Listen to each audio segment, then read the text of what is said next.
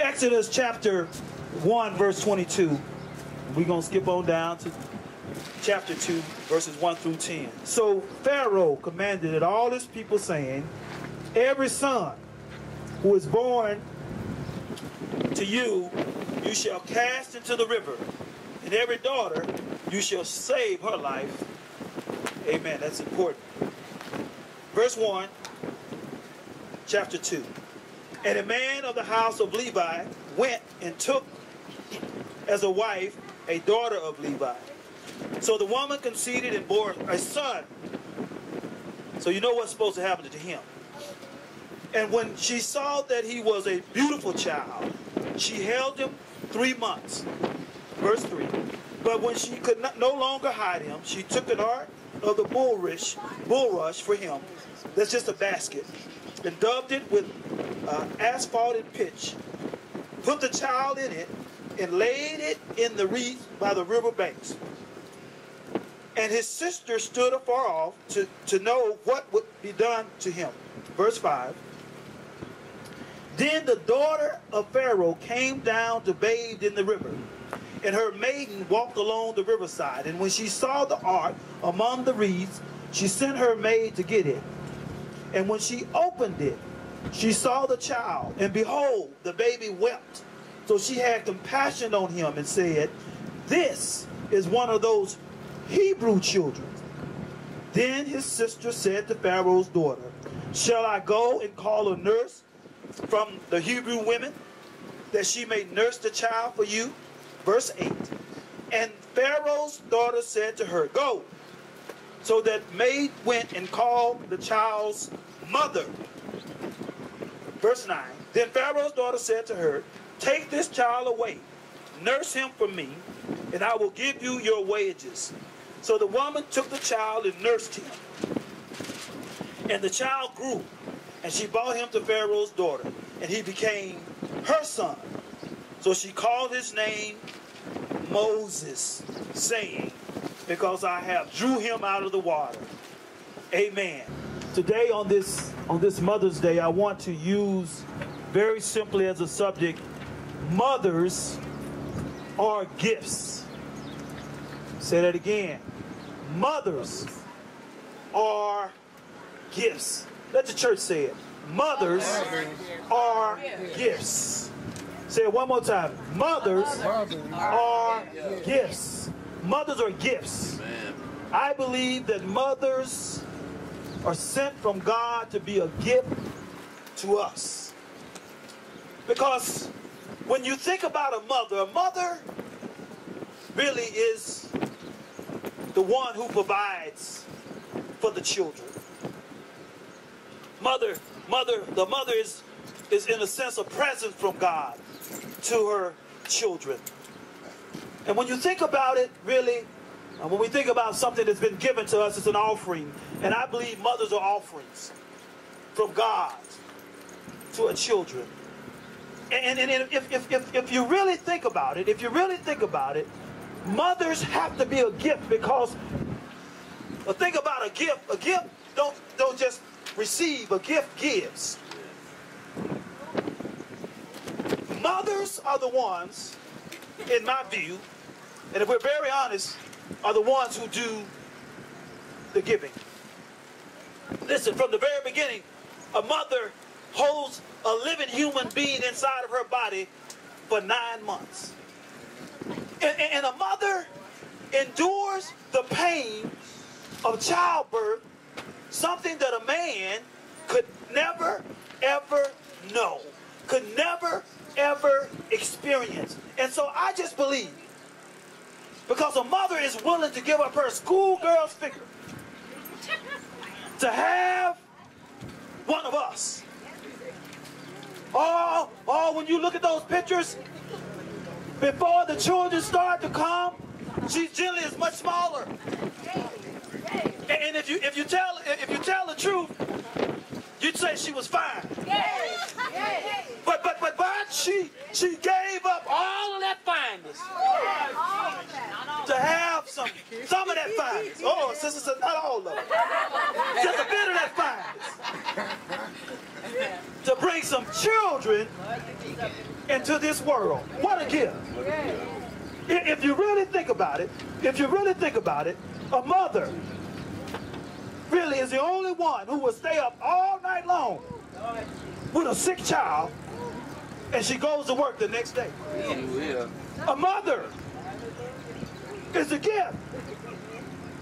I'm telling you, a mother, in my view, is the only one who has unconditional love for her children. And the reason I say that is because I've seen them. A mother stick with their children when they're good. A mother stick with their children even if they're bad. Because back in the day when I was in law enforcement, I saw so many mothers come to court with those children who have done some awful things. But that mother sits there and she cries her eyes out when they say he's getting life without parole. And she will go down there to see him for the rest of his life. It's very often, very seldom that I ever see a man sitting in that courtroom. Because oftentimes, let's be honest, men are too embarrassed. They're too prideful because their child has done something so awful. But that mother, she looks at that child that she carried for nine months and she said, this is my child no matter what. A mother, in my view, is a gift. And as we look at this text today, we see here a mother who's a gift. We look at the mother of Moses, and the thing about it is that Moses shouldn't have ever lived to see his first birthday. Because the text said in verse chapter 1, verse 22, that Pharaoh said, as soon as a boy is born, throw him into the river. He didn't say throw him into the river and baptize him. He was saying throw him into the river and kill him. But this mother, Moses' mother, showed what a woman and a mother will do for her children. And because of that, I said she's a gift. And you know, I want to share something that I experienced last night. I, my unit had this uh, dining in, dining out, whatever it was. I was there. And I, I talked to a lady that said something very interesting to me. She said, Chaplain, me and my husband had five miscarriages. We kept wanting to have children. And she said, I kept praying because I wanted to be a mother. And she said, I kept praying because God told me that I would be a mother. And she said, we kept having miscarriages. And she said, but God heard my prayer. And she said, after we got older, which was over 40, God gave them their first child. And then Four years later, so they a pretty good ways over 40, God gave them their second child. And I thought about that. This mother, seven times, she carried babies in her body because she wanted so much to be a mother.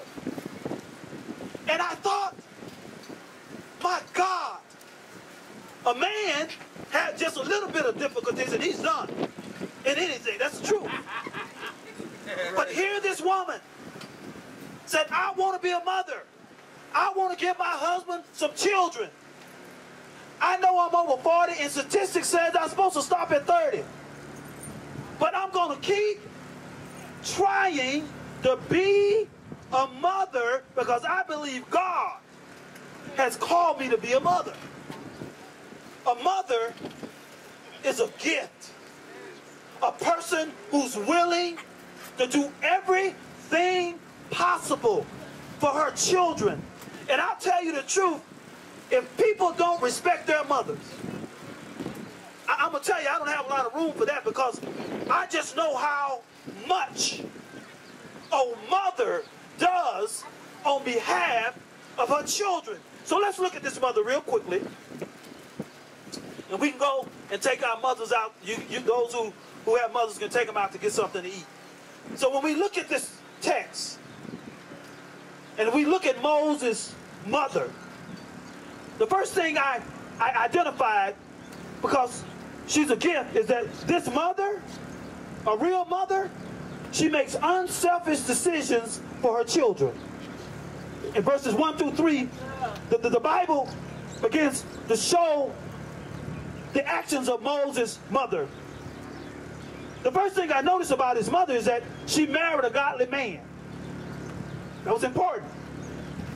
Because oftentimes, if you're not careful, a sister will marry a fine man and pray for a godly man after she marry him. Uh-huh. But, but, but, but, but, but, but here, this sister, she married her a godly man. We got to tell the truth, mother. We got to tell the truth. We got to tell the truth. And here, you see that that Moses' mother made unselfish decisions for her son because the text said she kept her son for three months. Now, the significance of that is she kept him for three months. But Pharaoh told her, as soon as he's born, you throw him in the river and you kill him. So she took the risk on behalf of her son to keep him in her care for three months. And you know, I think about three months, maybe she kept him long enough that she knew that he'd be healthy enough that when she did let him go, he could live. And so she made a decision. Even knowing that she had put her life in danger, she kept her son. And I thought about how if she would have been selfish and just thinking about herself, she'd have threw that baby in the water and never thought about him again. But she said, oh no, not my baby. I'm not going to kill my baby. I'm going to keep my baby. And you know, that's a word for the day's time. But we want to preach about that today, but, but that's a word. But after we look at this text, she kept her baby for 90 days. And after she kept her baby for 90 days, she took and got a basket. And she wrapped that basket with asphalt and she wrapped it with pitch. And she said, I'm going to put my baby in a secure basket. And I'm not going to just throw him in the river. I'm going to put him in a safe basket. And I'm going to let him float down the river. Now, now, now listen, that makes sense, right? Because what she was trying to say is, I'm not going to kill my child. I'm going to send him somewhere so he can be okay. And you know what?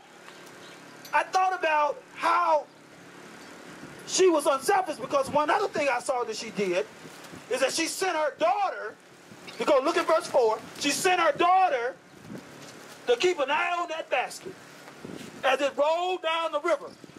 As to say, I'm going to see where he ends up because I'm going to go get him when I get a chance. So her daughter watched Moses in this basket that his mother had made up and it went down the river and she was watching for it. And so what I'm trying to say to you is that she defied Pharaoh, the most powerful man in the world, on behalf of her child. And you know, I think so much about my sisters and my and then all, all the mothers in the world, how much they go through, how much they give up for us, for for, for children, and oftentimes they give up a lot for children who don't appreciate them one bit. That's a fact. But I tell you what, a mother is a gift because so many times she makes unselfish decisions for her children. So many mothers work jobs that they hate for their children. So many mothers go to work sick every day on a regular basis because they're trying to take care of their children. So many mothers, let's be honest here, stay with men that they don't even want to be with on behalf of their children. I know it's true. The reason I know it, because they sit in my chair on a regular basis telling me their story. See, so many brothers think they stand with them because they're so cute, and so they're so fine. That's not why they're there. I, I, hate to deliver the bad news, but they're there because they care about their children. And they know you're going to help provide for them. You let them get grown. You let them get grown, and you're going to be an empty nester. And it ain't going to just be the kids. I'm going to tell the truth today. I'm talking about my mama. If I'm talking about mamas, I'm telling the truth today. Come on, Pastor. Take it or leave it. But here, here, here it is. So, so many sisters, so many mothers walk around day in and day out in clothes that they're really ready to throw away, but but they won't throw them away because they want to buy some clothes for their for their children. Yeah. So so so many sisters, you know, you see sisters driving these hoopties. They really want to get rid of those hoopties, but they know if they get rid of those hoopties, they're not going to be able to provide for their children. So they keep driving those hoopties until they get those kids out of the house. See, see, see, women and mothers make decisions in a very unselfish manner because they care so much about their children. Come. If we could just get a few Woo! Brothers, Hey! and I'm a brother, Hey! to, to get on board with those mothers, Say it, Pastor. can you imagine how much less stress will be on our sisters? Amen. My God. Woo! Listen, mothers are gifts because they make decisions that's very unselfish in nature. And they do it for the sake of their children. Now, I understand. There are some mothers that's making some decisions on a very unselfish way for their grandchildren. Because, let's be honest, some of our younger females because we can't put mother behind their name because they hadn't quite made it to that point yet. But listen to me. Mothers are gifts to us because they make very unselfish decisions about their children. And the next thing is that mothers are gifts to us because mothers put their children on a path to success. Say it again. Mothers are a gift to us because mothers put their children on a path to success. Look at verse 5 and 6. The text says that Moses' mother placed him in the river. Now, I just believe because they made a point to say that he placed her, she placed him in the river, that there's something significant about that. I believe she placed him in a place in the river so he could get down there and go straight to Pharaoh's house. The location she placed him in the river caused him to float directly down to a place where he could get some help. Directly down to a place where he could find success. I just believe when she put him in that basket and she set him in that river, she knew which direction he was going. She didn't send him off to the poor neighborhood. She, she, she, she, she, she, she, didn't, she didn't send him off over there where the drug dealers were. All right. She, she, she, she, didn't, she didn't send him over there where the game bangers were. All right. She, she put her son in the basket. She said, I'm going to send him down to Pharaoh's house because I know if I send him down to Pharaoh's house, he's going to be successful. And I thought to myself, how often do we send, mothers send their kids to a place where they can be successful? The, the text says, when, when the maid found Moses in the river, the Bible says that Pharaoh's daughter had compassion on him. And, and- and it was interesting because the text said that Moses was weeping. And who wants a crying baby? He was crying, but she still had compassion on him. His mother sent him to a place where she knew that he could find success. You know what I thought about? Mothers. How often our mothers culturally, our mothers take our children and put them on a path of success. How often do our, our mothers teach their children basic manners? They do it. They says, son, you need to say, I'm sorry. You need to say, excuse me. You need to say, yes, ma'am, and no, ma'am. You need to say, yes, sir, and no, sir. Basic manners. Do unto others as you would have them to do unto you. And that teaching is a path for success. How, how often do mothers teach their kids basic discipline? And in our culture, it happens. I know my mama did it. Your mama teach you how to work hard. Your mama teach you how to do your best. Your mama teach you how to get up on time. Your mama teach you how to be on time. Uh-huh. Your mama teach you how to clean up behind yourself. If, if, if, if your mama teach you those basic disciplines, those are gifts. If you think I don't know what I'm talking about, have you ever seen a rude person? Have you ever seen a lazy person?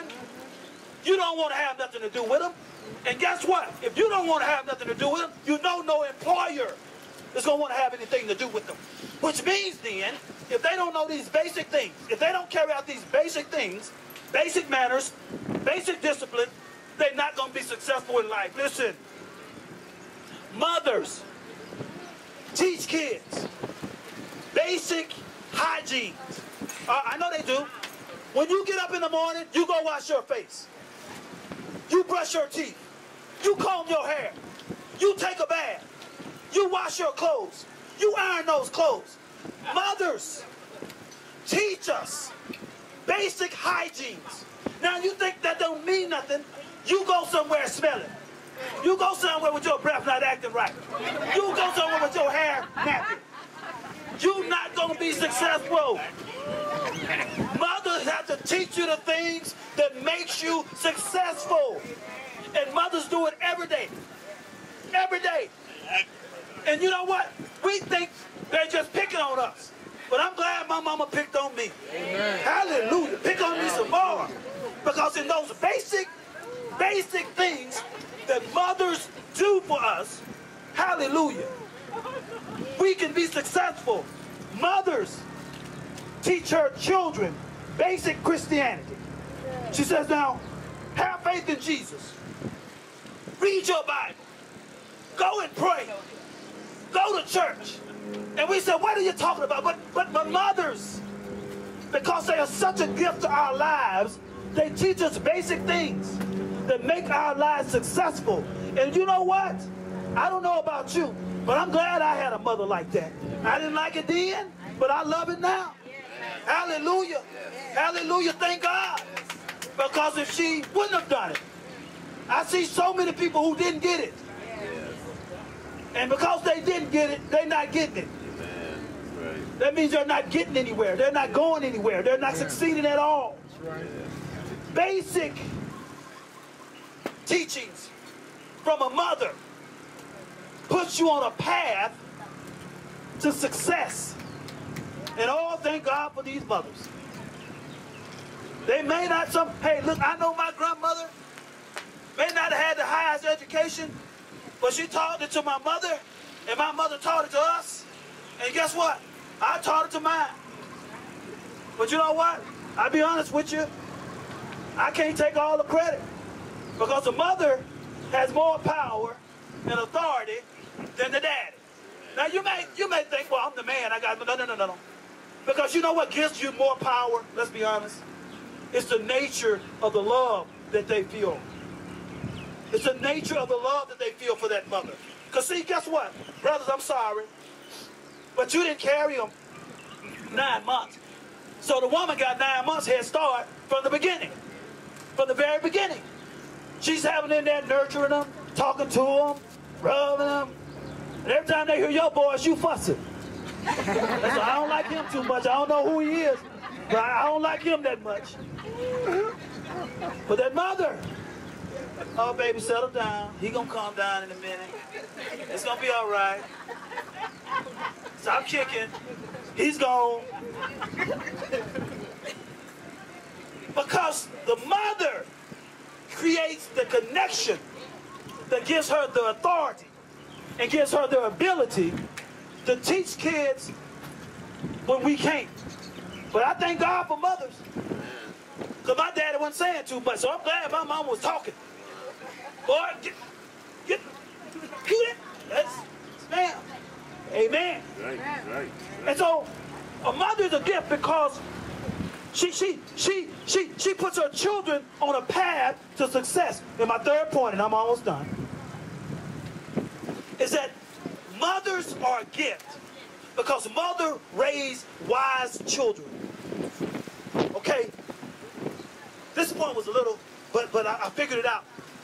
I I I, she, she raises wise children. You look at verses seven through ten, and you look at this text, and it was it's Moses' sister, who's Miriam, asked Pharaoh's daughter if she could go get a Hebrew woman to nurse Moses.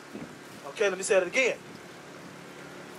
His sister had enough discernment to know that Moses was going to need to get nursed. His sister had enough discernment to know that if he was going to get nursed, he needed to get nursed by a Hebrew woman. She asked the right question based on the wisdom that she got from her mama. Uh-huh. And it's when, listen, what that says to me is that, that, that, that, that, that Moses' mother had laid the foundation for, his, for her children. Uh-huh. So, so, so when, when, when she asked Pharaoh's daughter if she could go get a Hebrew woman to nurse Moses, mhm, she said, go do it. But what she didn't know that she was gonna go get his real mama. That's a tax.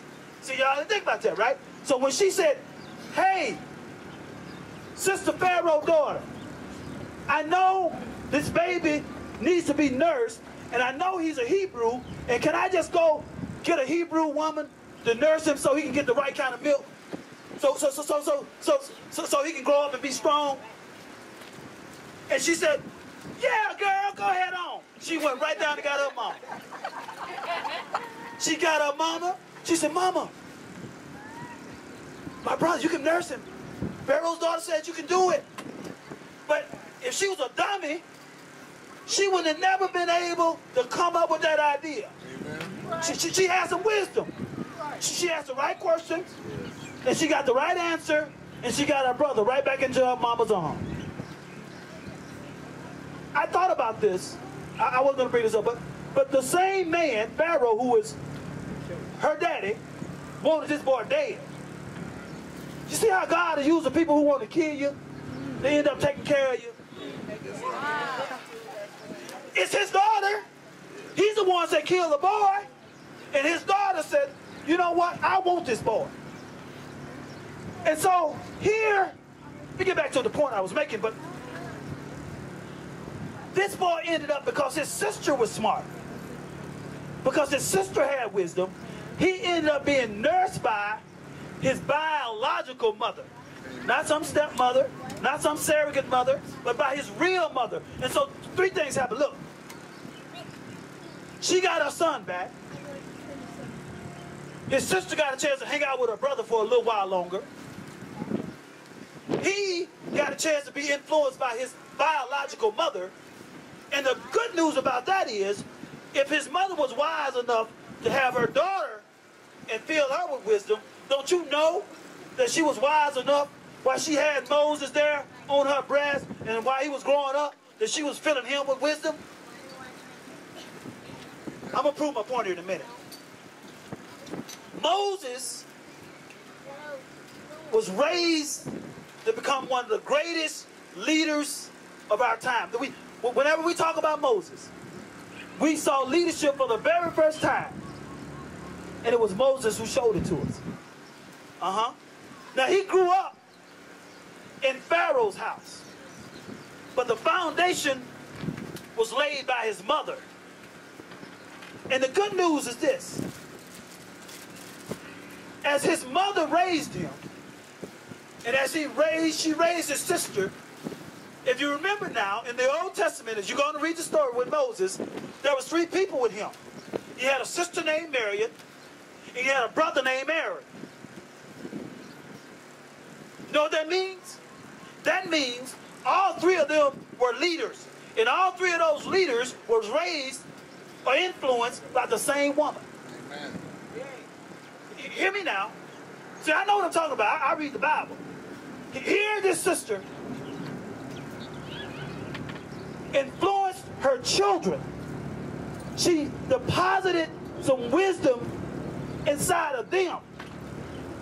And you know, I just believe when we listen and watch the story of Moses, I believe it's because his mother passed down to him a seed that was called wisdom. Because here it is. Moses is known as the most important prophet in Christianity. Moses is known for freeing the children of, of Israel from the brutal uh, beatings of the Egyptians. Now, listen. He had to be smart to be able to do that. To lead a people, for one, who didn't even know they need to be free.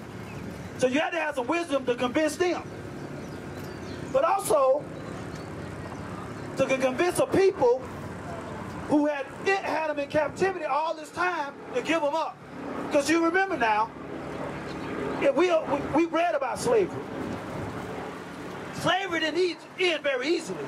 And the reason it didn't end very easily, because the people who had us enslaved didn't want to give up all the profit of having us enslaved. So do you think it was any easier for Moses to free those people?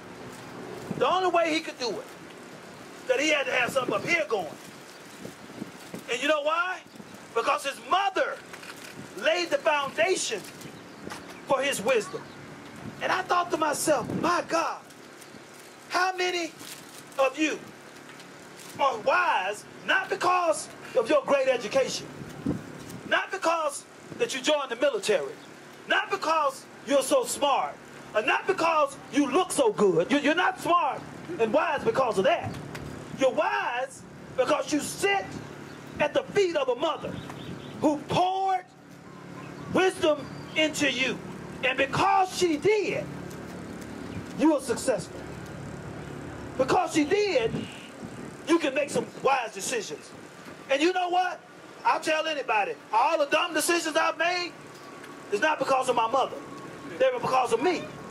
She, she, she taught me the right thing. She showed me the right thing. And you know, I, I, I said to myself when I was when I was working on this sermon, I said, you know, I'm not a pastor because I went to seminary. I'm not a pastor because I'm an army chaplain. I'm not a pastor because of that. I'm a pastor because of what my mother taught me. Because it's the things that she taught me that helps me be a pastor. You think I don't know what I'm talking about? Because my mother taught me how to love people unconditionally. That's why I'm a pastor. My mother taught me how to give without expecting anybody to give me anything back. That's what my mother taught me. My, my mother taught me, you know, how, how, how to be good to everybody, no matter who they are and no matter what they've done. And she said, see the good in everybody. And you know, you can't be a pastor if you can't see the good in everybody. Because you guess what? Everybody got some bad in them, Amen. including me. So if I just see the bad in people, I can't love them, I can't pastor them, I can't care for them. And so I didn't get that in a school book. Right. I didn't get it in a seminary class. I didn't get it from army training. I got it from Bobby Jean Cook's training. And I sit under her feet and I listen to what she said. And she said, forgive people no matter what they do to you. I, I, I understand now that she was giving me some wisdom. She, she said, she said, she said, do the right thing, son. No matter what the consequences. You do what's right, and God will work out the consequences. And I understand now that she taught me that, and because she taught me that, it gives me the ability to be a pastor. I didn't learn it in a book. I didn't learn it from some person. I learned it from her. And those are basic things. And you are where you are, many of you, if you're honest, because of what your mother, basic things that she taught you. Because guess what? If you don't know how to act, you're not getting in the door.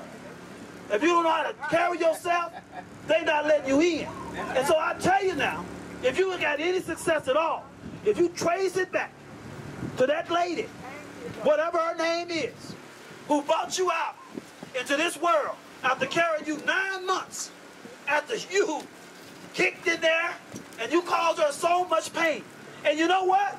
You didn't stop causing her pain because I think about all the pain that I caused my mother. All the sleepless nights that she had when I was out running the streets doing stupid stuff. But I thank God that she cared enough, that God made her such a gift, that she gave me everything that I needed to be what he called me to be. And I promise you that you, each and every one of you, your mother has given you a gift.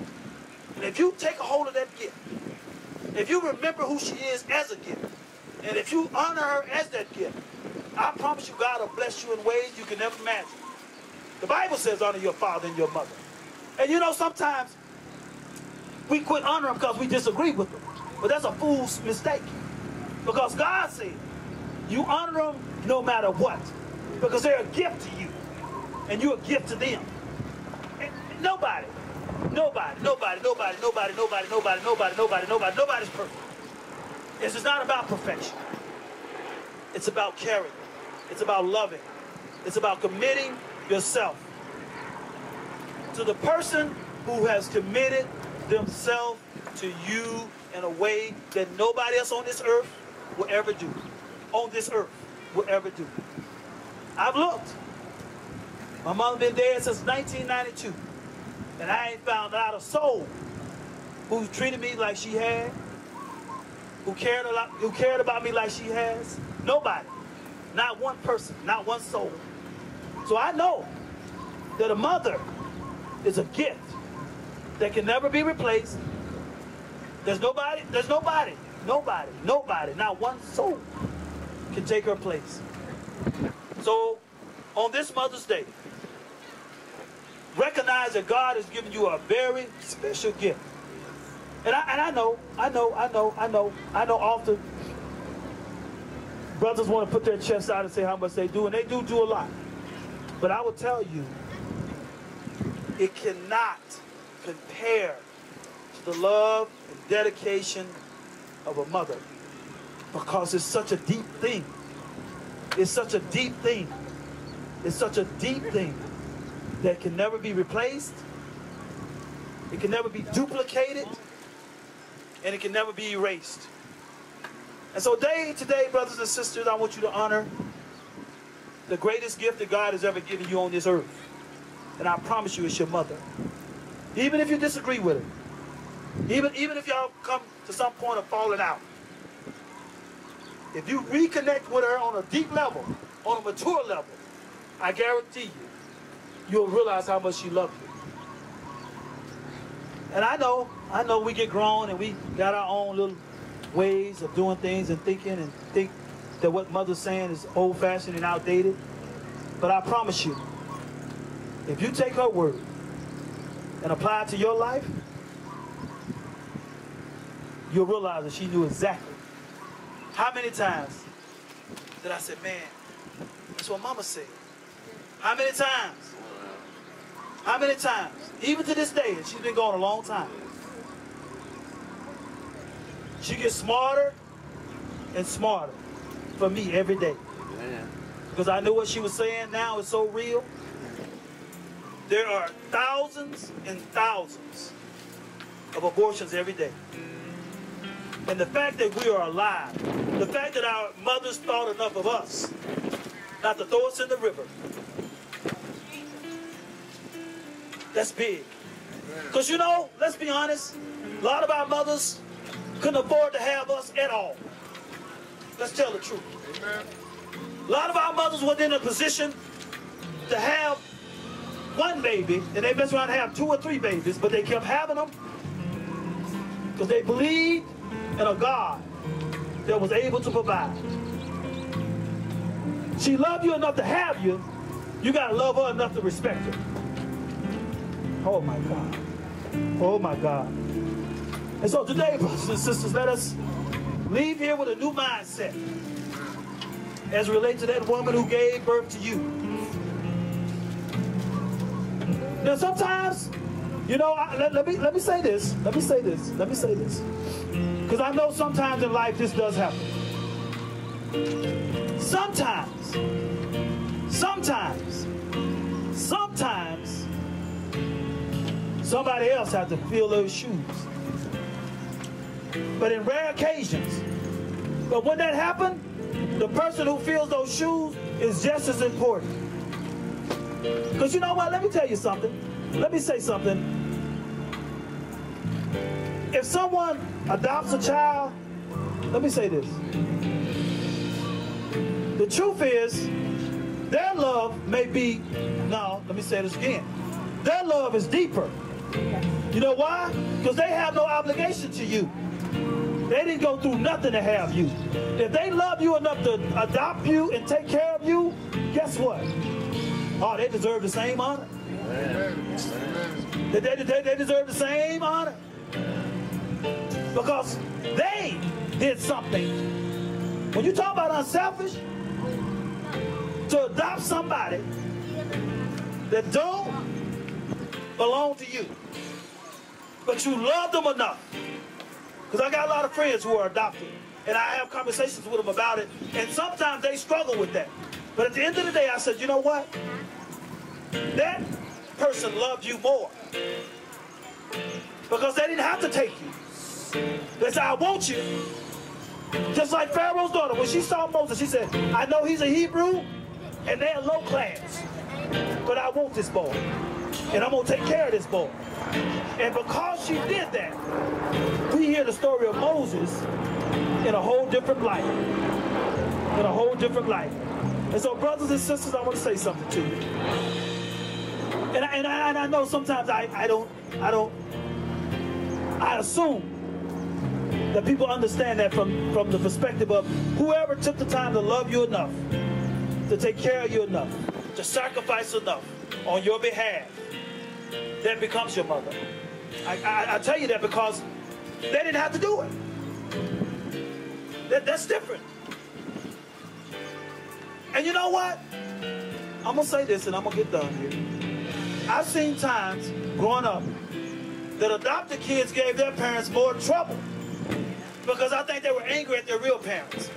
And because they were angry at their real parents, they gave their adopted parents so much trouble.